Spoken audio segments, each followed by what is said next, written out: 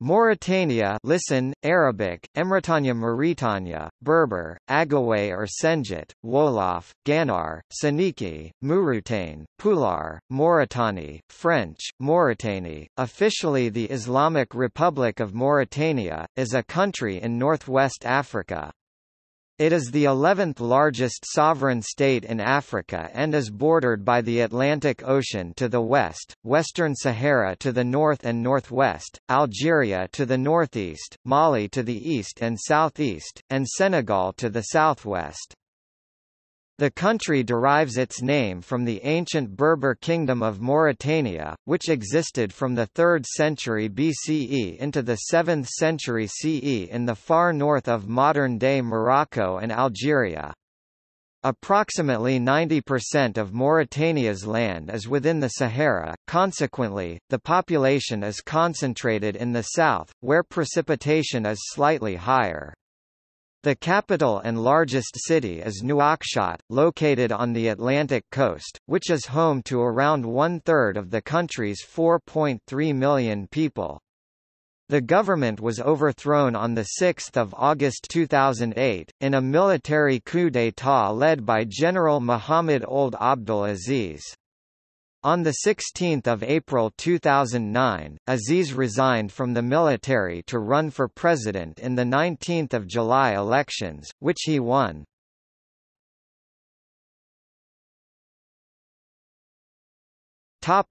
History and politics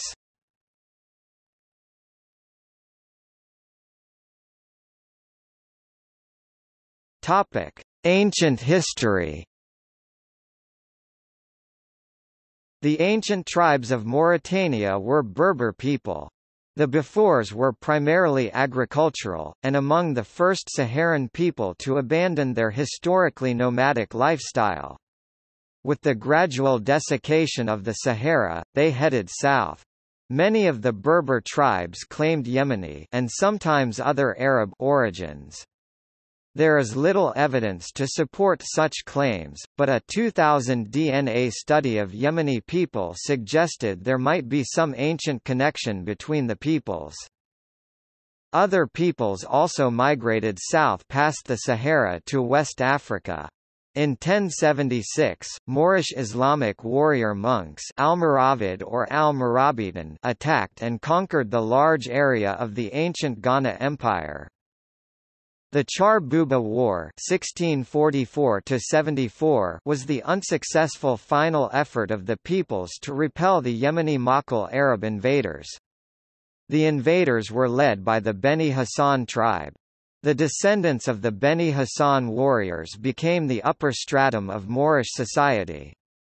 Hassaniya, a Bedouin Arabic dialect that derives its name from the Beni Hassan, became the dominant language among the largely nomadic population. Berbers retained a niche influence by producing the majority of the region's marabouts, those who preserve and teach Islamic tradition.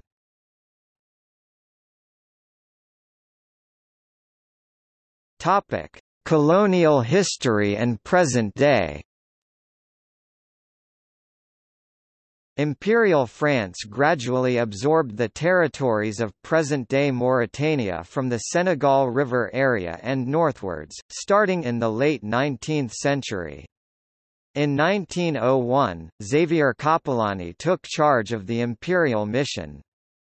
Through a combination of strategic alliances with Zawaya tribes, and military pressure on the Hassane warrior nomads, he managed to extend French rule over the Mauritanian Emirates. Trarza, Brakna and Tagant were occupied by the French armies in 1903–04, but the northern emirate of Adrar held out longer, aided by the anti-colonial rebellion or jihad of Sheikh Ma al-Ainain, as well by insurgents from Tagant and the other regions.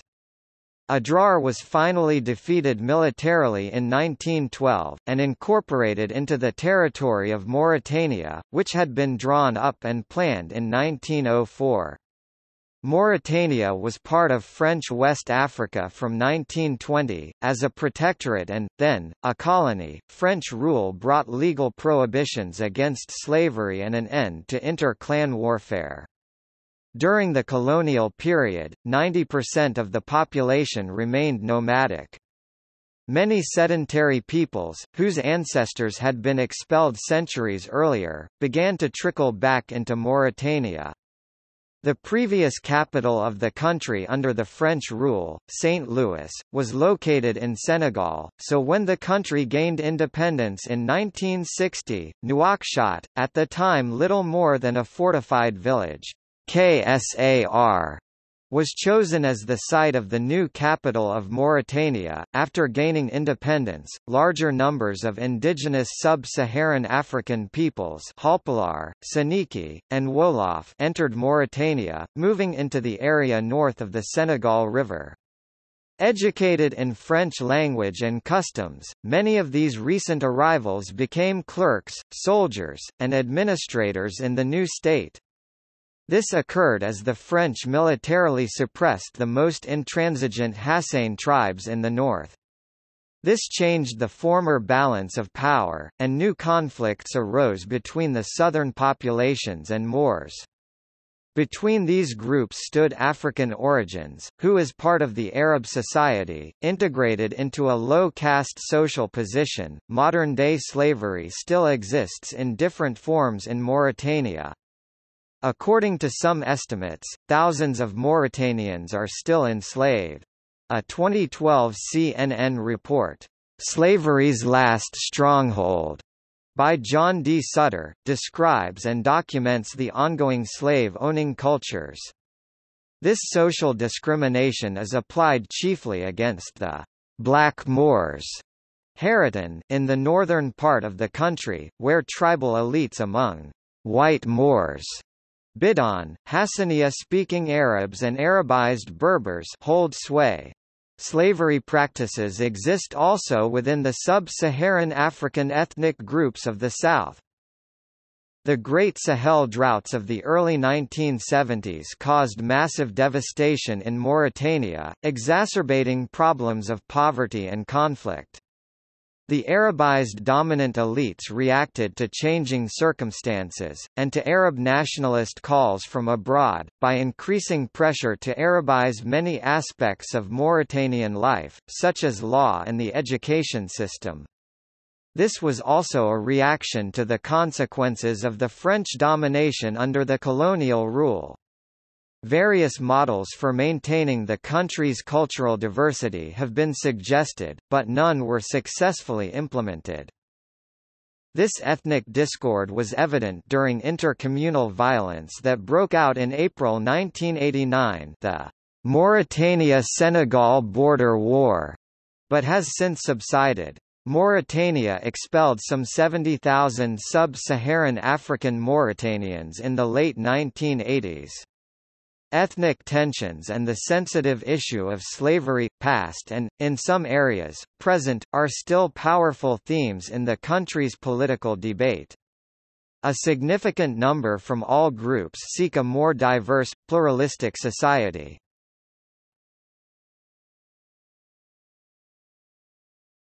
Topic. Issue of Western Sahara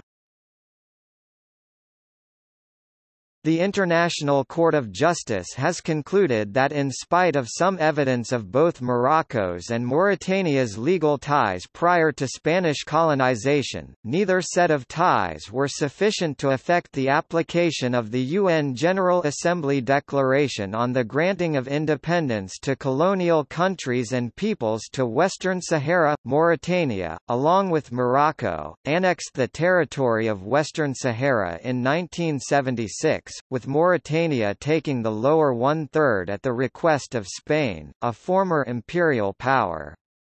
After several military losses from the Polisario, heavily armed and supported by Algeria, the regional power and rival to Morocco, Mauritania withdrew in 1979.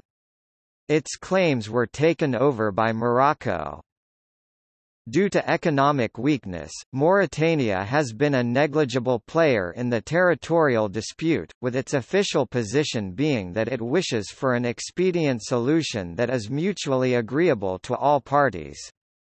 While most of Western Sahara has been occupied by Morocco, the UN still considers the Western Sahara a territory that needs to express its wishes with respect to statehood. A referendum is still supposed to be held sometime in the future, under UN auspices, to determine whether or not the indigenous Sahrawis wish to be independent, as the Sahrawi Arab Democratic Republic, or to be part of Morocco.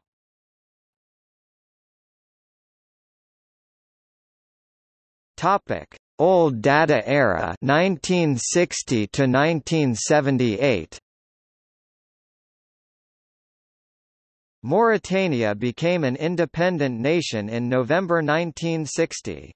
In 1964 President Mokhtar Ould Daddah, originally installed by the French, formalized Mauritania as a one-party state with a new constitution, setting up an authoritarian presidential regime. Daddah's own party du Peuple Mauritanien became the ruling organization in a one-party system. The president justified this on the grounds that Mauritania was not ready for Western-style multi-party democracy. Under this one-party constitution, Daddah was re-elected in uncontested elections in 1976 and 1978. He was ousted in a bloodless coup on 10 July 1978. He had brought the country to near collapse through a disastrous war to annex the southern part of Western Sahara, framed as an attempt to create a «Greater Mauritania».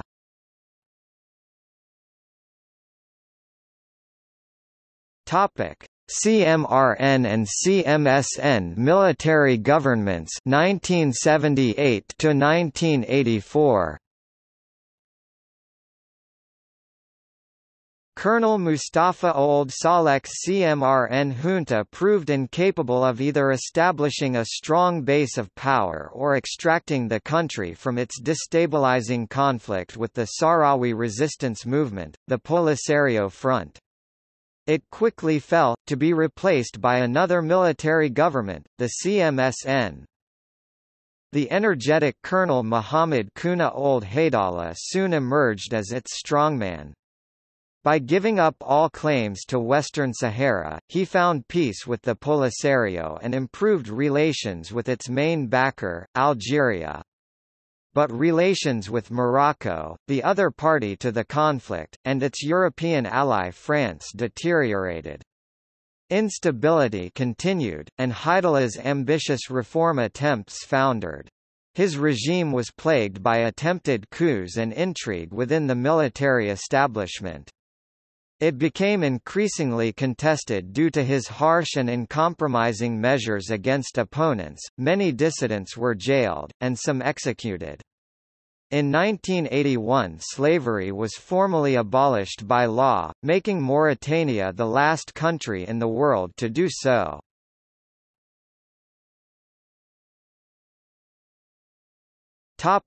Ould Taya's rule 1984 to 2005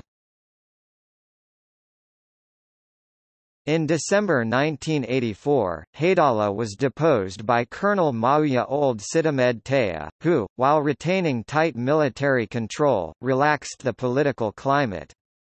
Ould Taya moderated Mauritania's previous pro-Algerian stance, and re-established ties with Morocco during the late 1980s. He deepened these ties during the late 1990s and early 2000s as part of Mauritania's drive to attract support from Western states and Western-aligned Arab states. Mauritania has not rescinded its recognition of Polisario's Western Saharan exile government, and remains on good terms with Algeria. Its position on the Western Sahara conflict is, since the 1980s, one of strict neutrality. Ordinance 83.127, enacted 5 June 1983, started the process of nationalization of all land not clearly the property of a documented owner, thus abolishing the traditional system of land tenure. Potential nationalization was based on the concept of «dead land» i.e., property which has not been developed or on which obvious development cannot be seen. A practical effect was government seizure of traditional communal grazing lands. Political parties, illegal during the military period, were legalized again in 1991. By April 1992, as civilian rule returned, 16 major political parties had been recognized, 12 major political parties were active in 2004. The Parti républicain démocratique et social (PRDS), formerly led by President Maouya Ould Sid'Ahmed Taya, dominated Mauritanian politics after the country's first multi-party elections in April 1992, following the approval by referendum of the current constitution in July 1991. President Taya won elections in 1992 and 1997. Most opposition parties boycotted the first legislative election in 1992.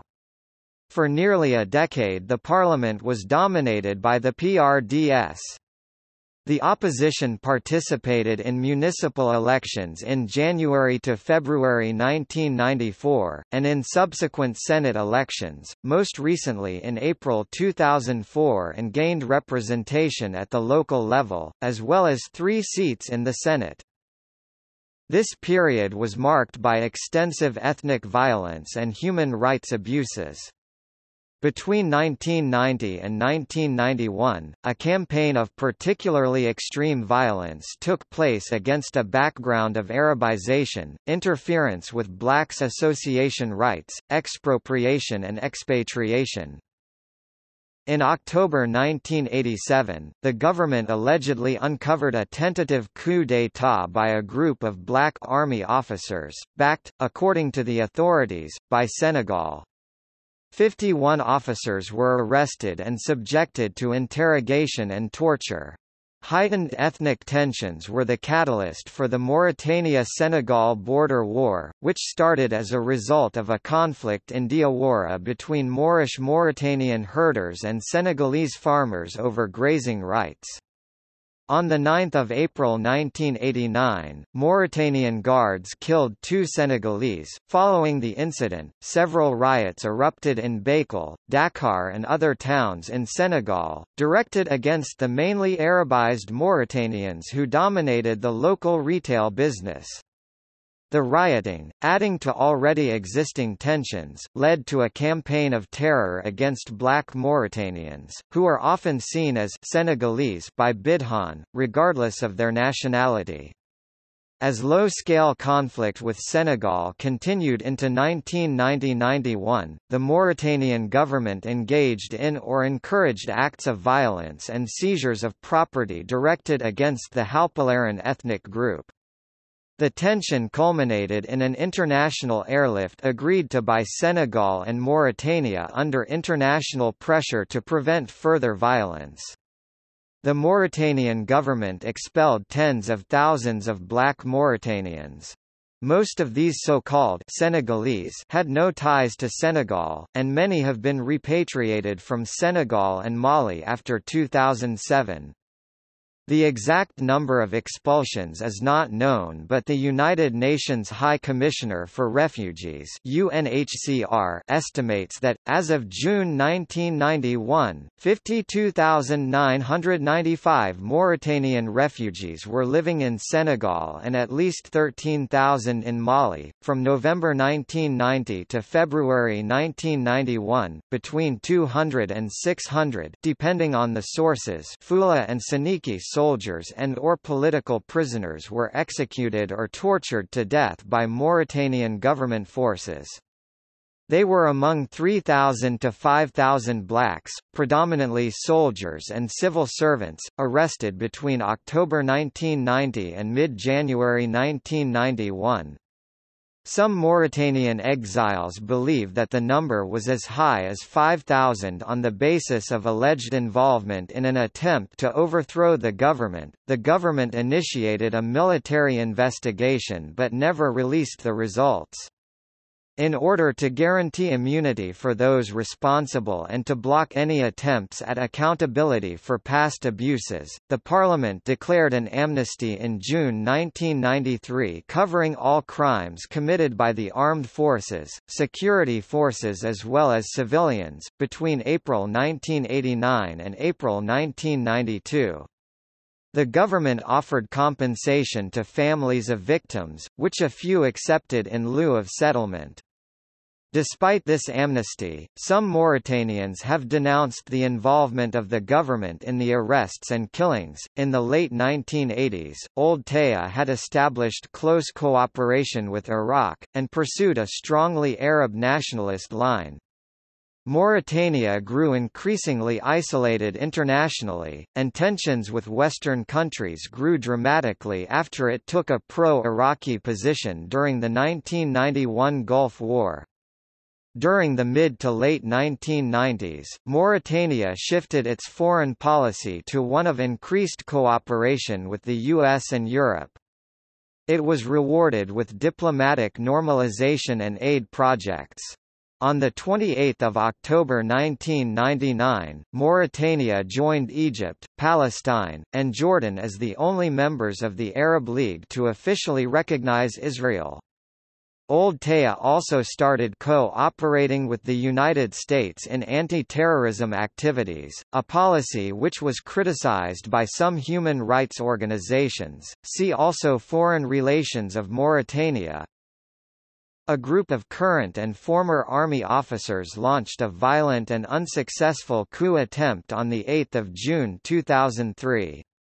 The leaders of the attempted coup escaped from the country, but some of them were caught, later on. Mauritania's presidential election, its third since adopting the democratic process in 1992, took place on 7 November 2003. Six candidates, including Mauritania's first female and first Haratine descended from former slaves candidates, represented a wide variety of political goals and backgrounds. Incumbent President Mawia Ould Sid'Ahmed Taya won re-election with 67.0% of the popular vote, according to the official figures, with Mohamed Kuna Ould Haidala finishing second.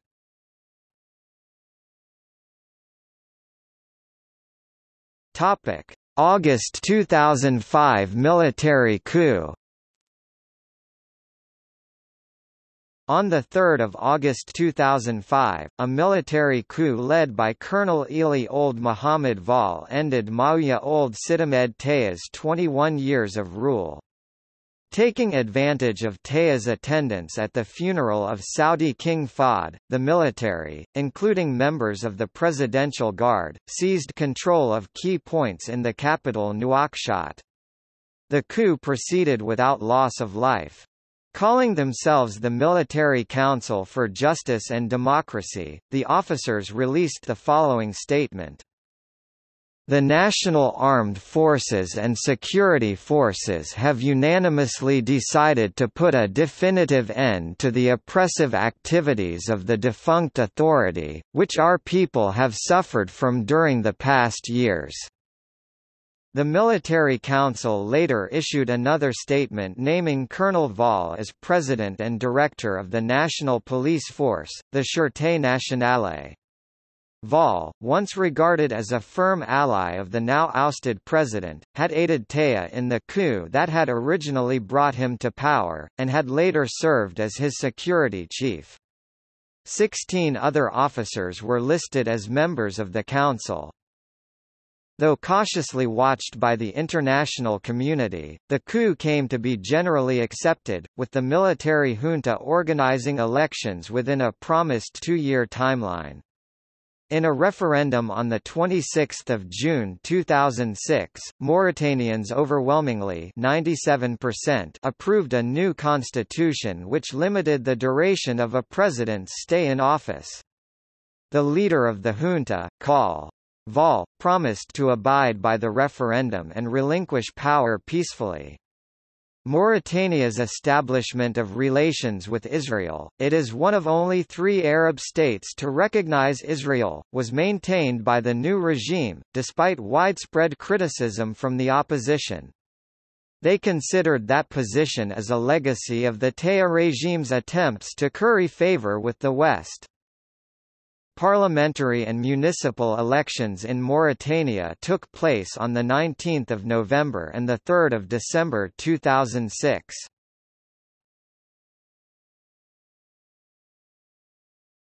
Topic: 2007 presidential elections.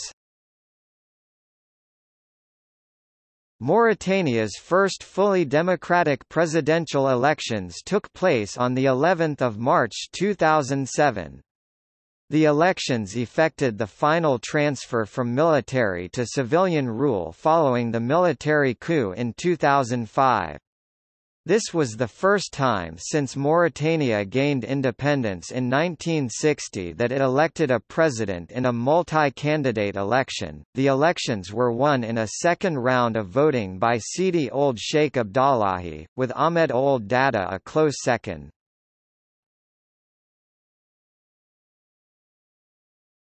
Topic: 2008 military coup. On 6 August 2008, the head of the Presidential Guards took over the President's Palace in Nouakchott, a day after 48 lawmakers from the ruling party resigned in protest of President Abdallahi's policies. The army surrounded key government facilities, including the state television building, after the president fired senior officers, one of them the head of the Presidential Guards.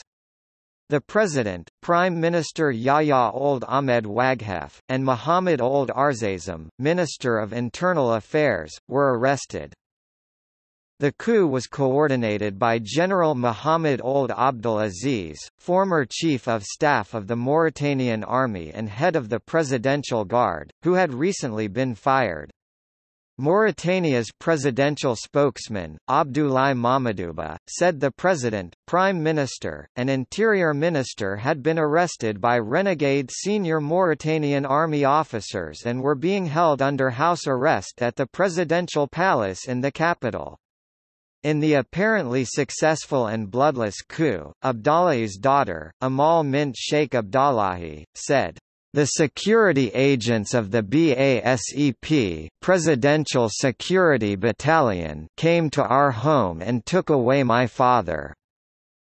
The coup plotters, all dismissed in a presidential decree shortly beforehand, included Abdelaziz, General Muhammad Ould al-Ghazwani, General Philippe Swikri, and Brigadier General AQID Ahmad Ould Bakri.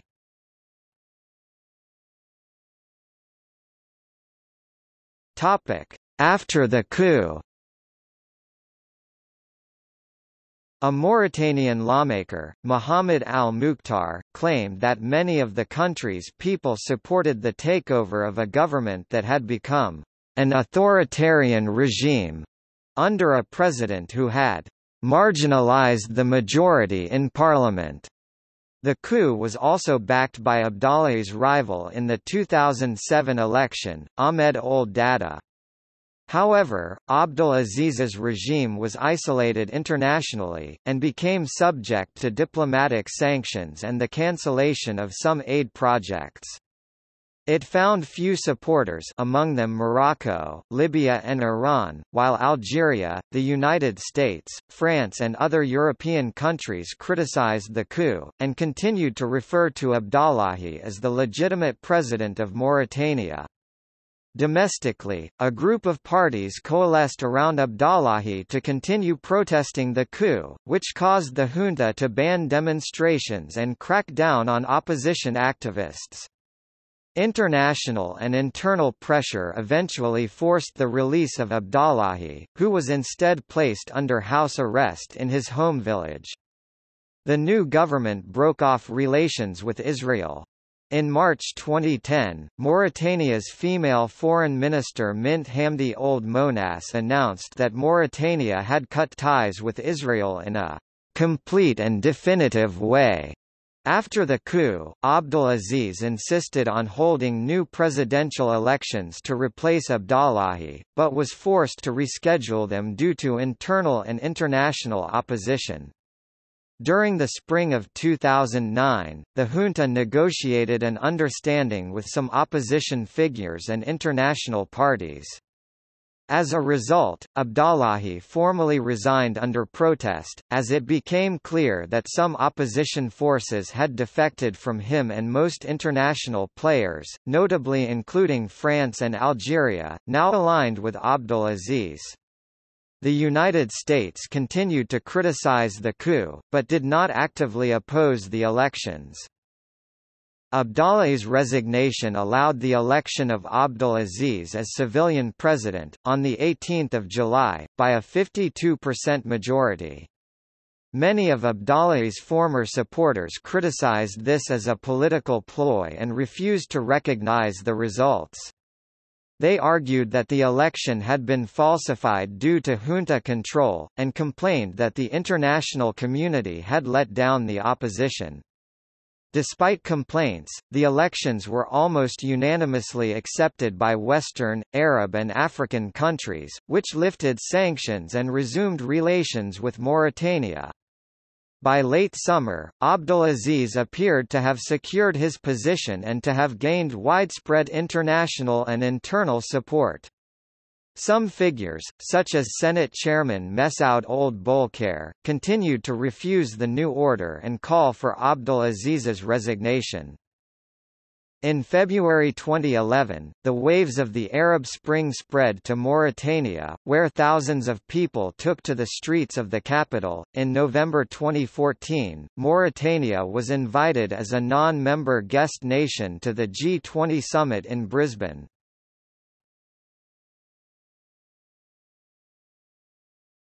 Topic: Society.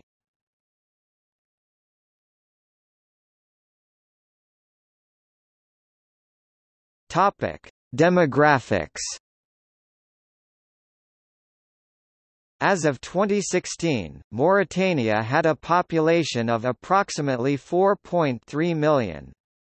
The local population is divided into three main ethnic tiers, Bidhan or Moors, Haratin, and West Africans. The CIA World Factbook estimates 30% Bidhan, 40% Haratin, and 30% others.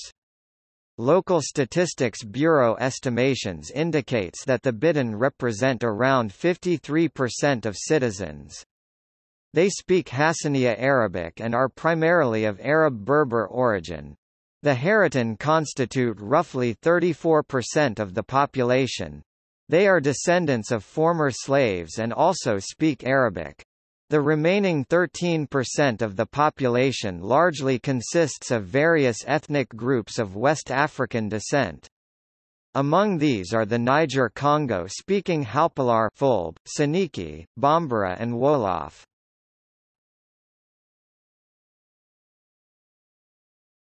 Topic: Religion. Mauritania is nearly 100% Muslim, with most inhabitants adhering to the Sunni denomination. The Sufi orders, the Tijaniya and the Qadiriya, have great influence not only in the country, but in Morocco, Algeria, Senegal and other neighborhood countries as well. The Roman Catholic Diocese of Nouakchott, founded in 1965, serves the 4,500 Catholics in Mauritania mostly foreign residents from West Africa and Europe. There are extreme restrictions on freedom of religion and belief in Mauritania, it is one of 13 countries in the world which punishes atheism by death. On 27 April 2018, the National Assembly passed a law that makes the death penalty mandatory for anyone convicted of blasphemous speech and acts deemed sacrilegious. The new law eliminates the possibility under Article 306 of substituting prison terms for the death penalty for certain apostasy-related crimes if the offender promptly repents. The law also provides for a sentence of up to two years in prison and a fine of up to 600,000 ouguiyas approximately 13,804 euros for offending public indecency and Islamic values, and for breaching Allah's prohibitions, or assisting in their breach. Topic: Languages Arabic is the official and national language of Mauritania. The local spoken variety, known as Hassaniya, contains many Berber words and significantly differs from the modern Standard Arabic that is used for official communication. Pulaar, Soninke and Wolof also serve as national languages. French is widely used in the media and among educated classes.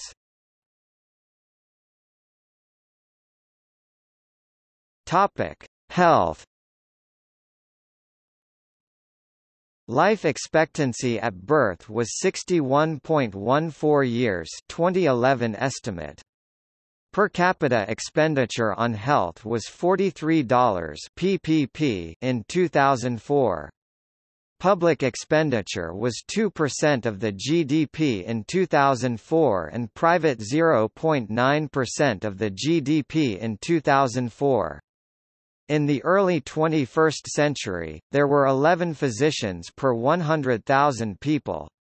Infant mortality is 60.42 deaths, 1,000 live births 2011 estimate. The obesity rate among Mauritanian women is high, perhaps in part due to the traditional standards of beauty in some regions in the country, in which obese women are considered beautiful while thin women are considered sickly.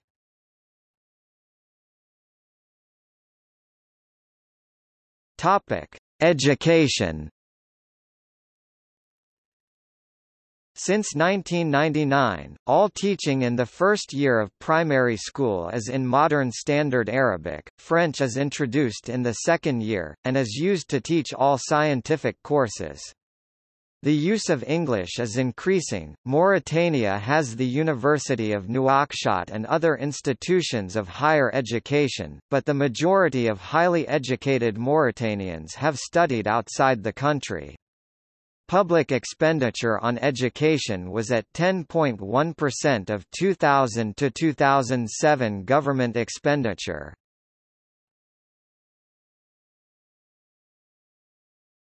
Topic: Urbanization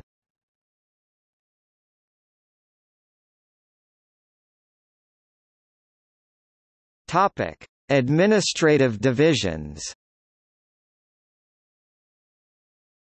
The government bureaucracy is composed of traditional ministries, special agencies, and parastatal companies. The Ministry of Interior spearheads a system of regional governors and prefects modeled on the French system of local administration. Under this system, Mauritania is divided into 15 regions wilaya or regions. Control is tightly concentrated in the executive branch of the central government, but a series of national and municipal elections since 1992 have produced limited decentralization. These regions are subdivided into 44 departments The regions and capital district in alphabetical order and their capitals are Topic Geography Mauritania is in the western region of the continent of Africa, is generally flat, its 1,030,700 square kilometers forming vast, arid plains broken by occasional ridges and cliff-like outcroppings. It borders the North Atlantic Ocean, between Senegal and Western Sahara, Mali and Algeria. It is considered part of both the Sahel and the Maghreb. A series of scarps face southwest, longitudinally bisecting these plains in the center of the country. The scarps also separate a series of sandstone plateaus, the highest of which is the Adrar Plateau, reaching an elevation of 500 meters. Spring-fed oases lie at the foot of some of the scarps. Isolated peaks, often rich in minerals, rise above the plateaus. The smaller peaks are called guelbs and the larger ones khedias. The concentric Guelb-ur-Richat is a prominent feature of the north-central region. Khedayat Ej Jil, near the city of Zouérat, has an elevation of 1,000 metres and is the highest peak. Approximately three-fourths of Mauritania is desert or semi-desert. As a result of extended, severe drought, the desert has been expanding since the mid-1960s. The plateaus gradually descend toward the northeast to the Barren El Jouf, or empty quarter, a vast region of large sand dunes that merges into the Sahara Desert. To the west, between the ocean and the plateaus, are alternating areas of clayey plains regs and sand dunes ergs, some of which shift from place to place, gradually moved by high winds. The dunes generally increase in size and mobility toward the north. Belts of natural vegetation, corresponding to the rainfall pattern, extend from east to west and range from traces of tropical forest along the Senegal River to brush and savanna in the southeast. Only sandy desert is found in the center and north of the country.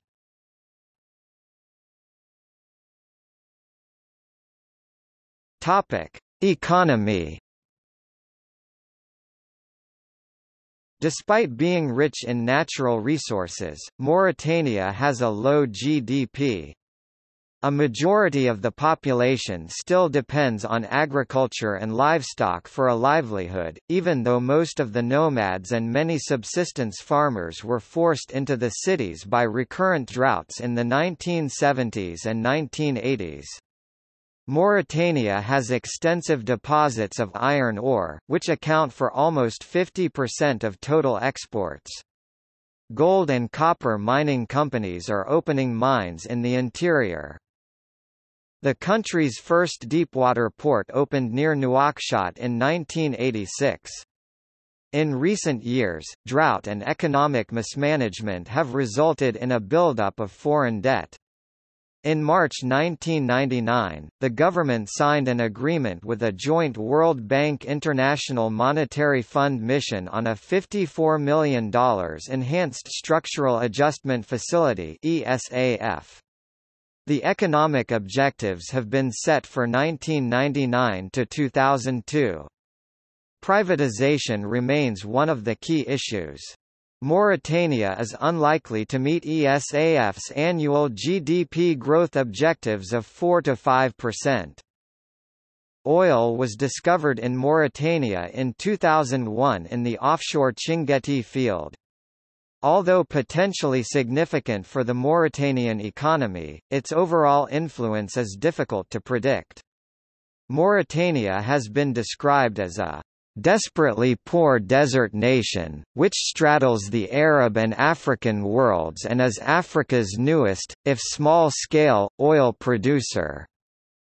There may be additional oil reserves inland in the Taoudeni Basin, although the harsh environment will make extraction expensive. United Arab Emirates government, via its pilot Green City Masdar, announced it will install new solar plants in the city of Ader which will supply an additional 16.6 megawatts of electricity.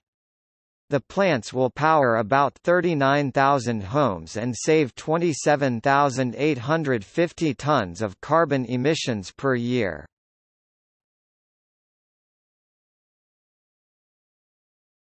Topic: Human rights. The Abdallahi government was widely perceived as corrupt and restricted access to government information, Sexism, racism, female genital mutilation, child labor, human trafficking, and the political marginalization of largely southern-based ethnic groups continued to be problems. Homosexuality is illegal and is a capital offense in Mauritania. Following the 2008 coup, the military government of Mauritania faced severe international sanctions and internal unrest. Amnesty International accused it of practicing coordinated torture against criminal and political detainees. Amnesty has accused the Mauritanian legal system, both before and after the 2008 coup, of functioning with complete disregard for legal procedure, fair trial, or humane imprisonment. The organization has said that the Mauritanian government has practiced institutionalized and continuous use of torture throughout its post-independence history. Under all its leaders, Mauritanian blogger Mohamed Sheikh Ould Mkhaitir was sentenced to death after he wrote an article critical of religion and the caste system in Mauritania. He is a designated prisoner of conscience by Amnesty International.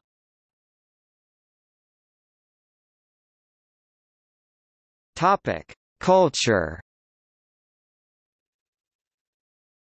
Filming for several documentaries and films has taken place in Mauritania, including Fort Saganne (1984), The Fifth Element (1997), Winged Migration (2001), and Timbuktu (2014).